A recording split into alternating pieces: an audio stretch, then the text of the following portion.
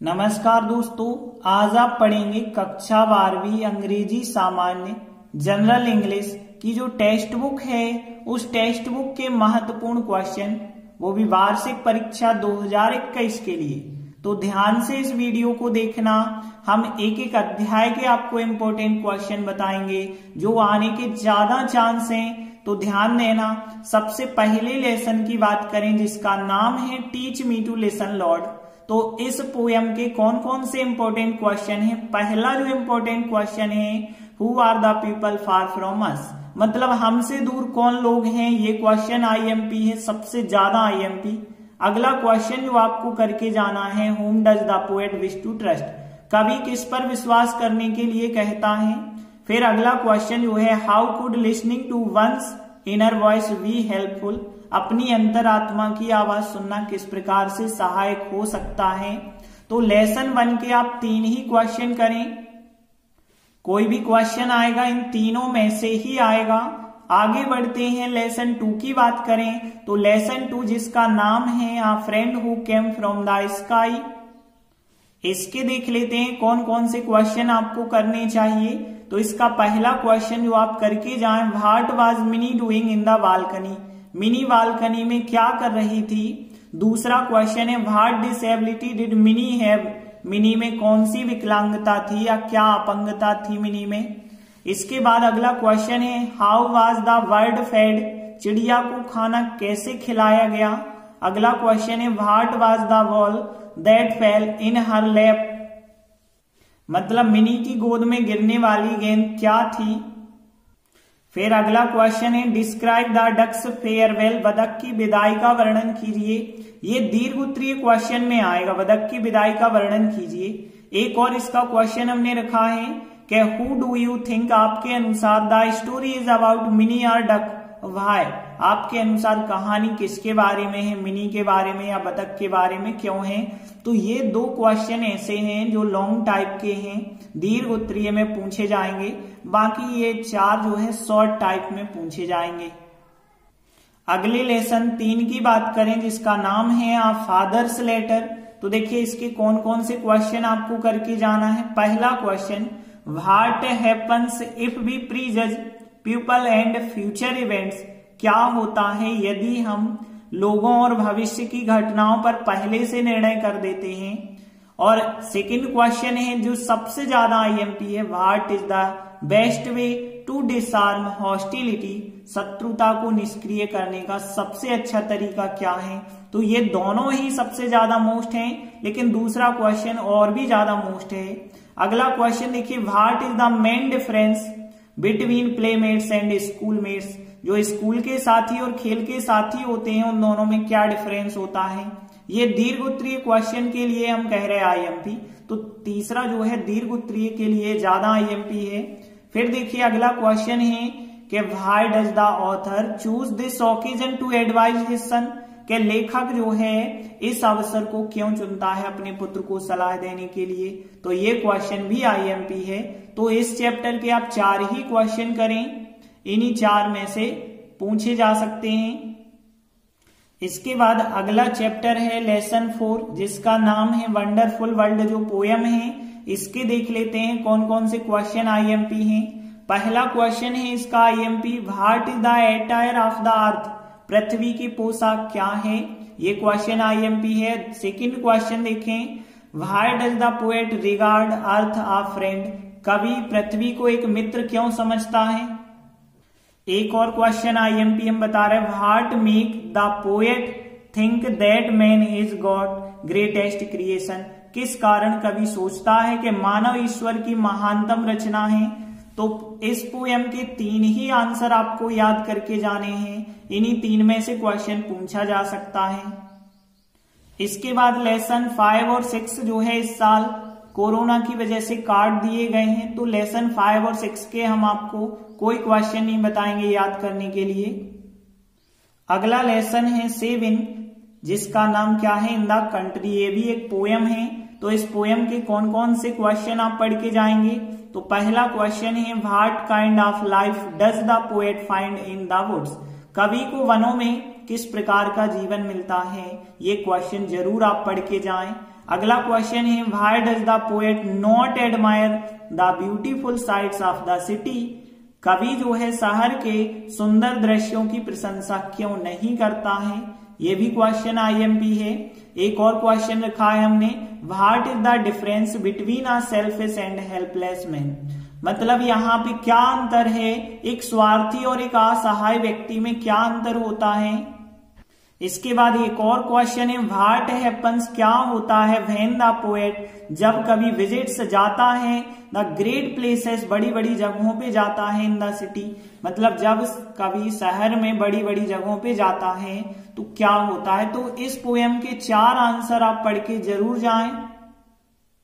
अगले लेसन की बात करें लेसन एट जिसका नाम है एंड्स एंड मीन्स मतलब ध्येय और साधन। तो इसके देखते हैं कौन कौन से क्वेश्चन आईएमपी हैं। पहला क्वेश्चन आईएमपी है who was Swami Arvasu what was he doing under the banyan tree अब देखिए, यहाँ दो क्वेश्चन मिला के इकट्ठा पूछ लेते हैं कि स्वामी अरवासु कौन थे? वह बरगद के पेड़ के नीचे क्या कर रहे थे? अगला क्वेश्चन आईएमपी है जो what did Birju see when he peeped into the hut के बिरजू ने क्या देखा जब उसने झोपड़ी में झांका? अगला क्वेश्चन है what according to Brahmadatt made Birju deep nobler than Swami Arvasu does sage मतलब ब्रह्मदत्त के अनुसार बिरजू जो चोर था, वो स्वामी अरवासु से ज़्यादा महान कैसे बन गया? ये भी क्वेश्चन आईएमपी है। अगला question what miracle did the sage and his followers witness the next morning अगली सुबह, मनीषी और उसके अनुयायियों ने कौन सा चमत्कार देखा?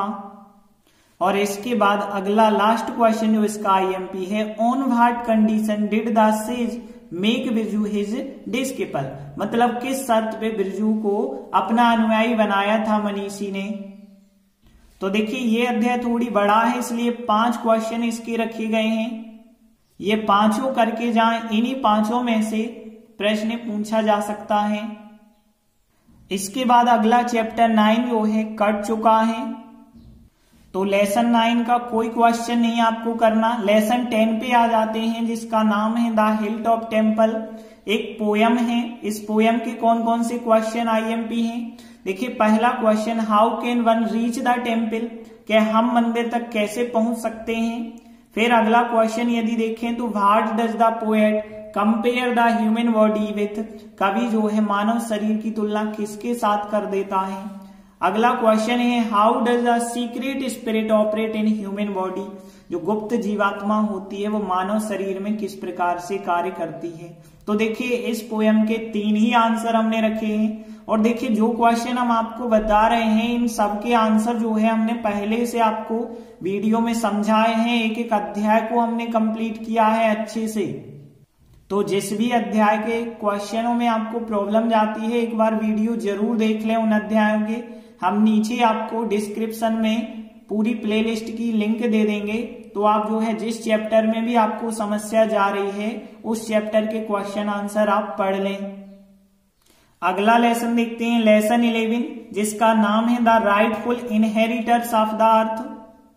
तो देखते हैं इस अध्याय के कौन कौन से क्वेश्चन इंपॉर्टेंट हैं। पहला question what made the author feel secure and why किस चीज़ ने लेखक को सुरक्षित महसूस करवाया और क्यों? अगला क्वेश्चन है who were the first visitors to the farm मतलब खेत आने वाले। फ़र्स्ट विजिटर्स मतलब पहले यात्री कौन थे? फिर अगला क्वेश्चन है write two ways in which the crows irritated the author मतलब ये कौन से दो तरीके थे जिनसे जो है कौओं ने लेखक को नाराज़ कर दिया था? उन दो तरीकों को लिखना है। अगला question what similarities did the hawks share with crows मतलब जो है कि बाज कौओं के साथ कौन सी समानता रखती थी? अगला क्वेश्चन है what were the consequences of poisoning the rats in and around the house मतलब यहाँ पे जहर देने के परिणाम क्या थे? चूहों को जहर देने के परिणाम क्या थे? घर के अंदर और बाहर जब चूहों को जहर दिया गया था तो क्या क्या परिणाम हुए थे? तो देखिए, इस चैप्टर के आपको पाँच ही क्वेश्चन करके जाना है। थोड़ी बड़ा है, इसलिए हमने इसके पाँच क्वेश्चन रखे हैं। तो इन पाँचों क्वेश्चनों को अच्छे से करें। अगला लेसन ट्वेल्व की बात करें, द वैल्यू ऑफ़ मैन। तो देखिए, ये चैप्टर भी बड़ा है तो इसके क्वेश्चन थोड़ी ज़्यादा होंगे। पहला क्वेश्चन है what was Ghasi's complaint to the panchayat के घासी की पंचायत के लिए क्या शिकायत थी? Second question why did Ghasi not buy a के घासी ने साइकिल क्यों नहीं खरीदी? ये भी क्वेश्चन आईएमपी है। थर्ड क्वेश्चन है what did Kanchhedi say he beat up Ghasi Kanchhedi ने घासी को पीटने पर क्या कहा? अगला क्वेश्चन है IMP why did Ghasi curse master ji Ghasi ने मास्टर जी को क्यों कोसा? अगला क्वेश्चन है why did Mohan name his as truck sahib? Mohan ने अपने गधे का नाम ट्रक साहब क्यों रखा? और फिर अगला लास्ट क्वेश्चन है why did sarpanch say he considered an ass more reliable than a man तो सरपंच ने ऐसा क्यों कहा या सरपंच ने कहा कि वह एक आदमी से ज़्यादा भरोसेमंद एक गधे को मानते हैं, ऐसा उन्होंने क्यों कहा था? तो ऐसे ऐसे छह क्वेश्चन हमने इस चैप्टर के आईएमपी बताए, क्योंकि ये चैप्टर थोड़ी बड़ा है। तो इसके छह क्वेश्चन ये अच्छे से कंप्लीट कर लें। इसके बाद अगला लेसन थर्टीन देखें। फॉरेस्ट एंड रिवर की बात करें, एक पोयम है।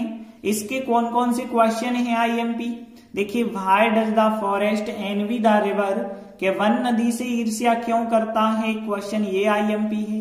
अगला question what is the kingdom of water के जल का साम्राज्य क्या है? ये क्वेश्चन भी आईएमपी है। अगला question how does the river praise the forest के जो है, नदी वन की प्रशंसा किस प्रकार से करती है? और अगला क्वेश्चन है कि why does the river consider its journey meaningless. नदी अपनी यात्रा को निरर्थक क्यों मानती है? और अगला क्वेश्चन है what is the forest complaint about its life one को अपने जीवन के प्रति क्या शिकायत है? देखिए, इस पोयम के थोड़ी ज़्यादा आंसर हैं तो पाँच आंसर हम आपको बता रहे हैं, ये पाँचों अच्छे से कर लें। अब देखिए, आपके माइंड में क्वेश्चन आ रहा होगा कि सर इतने सारे क्वेश्चन बता रहे हैं। तो हम इतने सारे इसलिए बता रहे हैं, क्योंकि थोड़ी यदि आप ज़्यादा पढ़ के जाएँगे ना तो कोई नुकसान नहीं होगा। यदि हमने कम बताए और आपने कम पढ़े, और यदि एक दो क्वेश्चन ही बाहर से हो गए तो आप कहेंगे कि जो सर ने बताए उनमें से आए नहीं। इसलिए हम कोशिश यही करें कि थोड़ी ज़्यादा बता दें, क्योंकि आपको तो पढ़ना है, आप थोड़ी दो चार ज़्यादा भी पढ़ सकते हो, लेकिन आप कम पढ़ के जाओगे तो नुकसान आपका हो सकता है, इसलिए आप थोड़ी सी ज़्यादा मेहनत करें। अगला लेसन देखते हैं। लेसन यदि बात करें 15 क्योंकि 14 चैप्टर कम हो चुका है तो लेसन 15 की बात करें, जिसका नाम क्या है? The eyes are not here आँखें यहाँ नहीं है। इसके कौन कौन से क्वेश्चन हैं? तो देखिए, इसका जो है पहला क्वेश्चन है कि what instruction did the girl's parents when they her off तो यहाँ पे कौन कौन से निर्देश उस लड़की के माता पिता ने दिए थे जब वे उसे छोड़ने आए थे स्टेशन तक? तो ये क्वेश्चन भी आईएमपी है। अगला क्वेश्चन है कि what did the author mean by a safe remark के लेखक का एक सुरक्षित रिमार्क से, एक सुरक्षित टिप्पणी से क्या मतलब है? अगला question why did the new passenger not notice the girl's air मतलब नए यात्री ने लड़की के बालों पर ध्यान क्यों नहीं दिया? ये क्वेश्चन भी आईएमपी है। अगला क्वेश्चन है कि what was the author trying to laugh at के लेखक हंसने का प्रयास क्यों कर रहा था? इसके बाद देखिए, अगला क्वेश्चन ये लॉन्ग टाइप वाला आंसर है और ये ज़्यादातर पूछा जा सकता है। तो do you think the author was blind by birth आपके अनुसार क्या लेखक जन्मांध था? Justify our answer from the hints given in the story story में जो कुछ आपको संकेत दिए गए होंगे, उनकी सहायता से अपने उत्तर की पुष्टि करना है। तो इस चैप्टर के आप पाँच ही क्वेश्चन करके जाएँ। इन्हीं पाँच में से हंड्रेड परसेंट है कि क्वेश्चन आपको फंस जाएगा। अगला लेसन देखिए। लेसन 16 जिसका नाम क्या है? द इंग्लिश लैंग्वेज एक पोयम है। तो इसके कौन कौन से क्वेश्चन है? देखिए, सबसे मोस्ट तो इसका यही क्वेश्चन हम कहेंगे। What are the two meanings of the word cricket cricket शब्द के दो अर्थ क्या होते हैं? सबसे ज़्यादा आईएमपी है। फिर देखिए अगला क्वेश्चन है how is copper use in a kitchen kitchen रसोई घर में तावे का उपयोग किस प्रकार से किया जाता है? ये भी क्वेश्चन आईएमपी है। एक और क्वेश्चन इसका हम रख रहे हैं, what jug is the poet talking about कवि किस जोग के बारे में बात कर रहा है? तो इस पोएम के तीन ही आंसर करें। इन्हीं तीन में से कोई भी क्वेश्चन परीक्षा में पूछा जा सकता है। अब आगे का लेसन यदि देखें 17 और 18 जो है, दोनों अध्याय कट चुके हैं इस साल कोरोना की वजह से तो वो चैप्टर आपको करने की ज़रूरत नहीं है। तो इस प्रकार से आज हमने पूरी टेक्स्ट बुक के जो है इंपॉर्टेंट इंपॉर्टेंट क्वेश्चन सीखे। कि कौन कौन से इंपॉर्टेंट ऐसे क्वेश्चन हैं जो इस साल परीक्षा में पूछे जा सकते हैं तो आप इन क्वेश्चनों को अच्छे से ज़रूर कर लें। इसके बाद हम और भी आपको जैसे वर्कबुक के क्वेश्चन आंसर भी उपलब्ध करा देंगे कि कौन कौन से इंपॉर्टेंट हैं। लेटर एप्लीकेशन कौन सी रिपोर्ट आईएमपी है तो ये सब चीज़ें उपलब्ध कराएँगे। और खासकर जो हम ग्रामर आपको सिखा रहे हैं, वो ग्रामर ज़रूर आप कंप्लीट करते चलिए। धन्यवाद।